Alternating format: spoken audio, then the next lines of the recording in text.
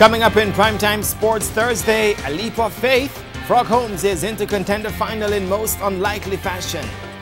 Steph McPherson scores the lone Jamaican win at Oslo Diamond League meet in Norway.